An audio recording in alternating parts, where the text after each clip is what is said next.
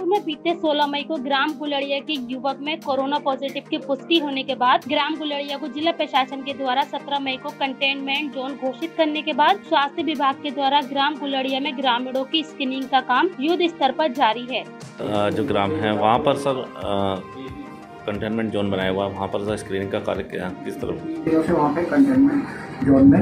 हमारी आशा फैसिलिटेटर और आठ लोगों की टीम काम काम पे जा रही है और स्क्रीनिंग लगातार करी जा रही है। कल एक सौ छियानवे घर करे गए थे जिसमें सत्रह सौ पचानवे लोगों की स्क्रीनिंग हुई थी परसों आठ सौ लोगों की स्क्रीनिंग हुई थी और अभी दोपहर तक सत्ताईस सौ बीस लोगों के पास लोगों की स्क्रीनिंग हो चुकी है। उसमें कोई भी अगर बीमार हमें व्यक्ति मिल रहा है तो वो हमें रिपोर्ट रिपोर्ट शाम को भेजते हैं और हम लोगों की सैंपलिंग करा के रिपोर्ट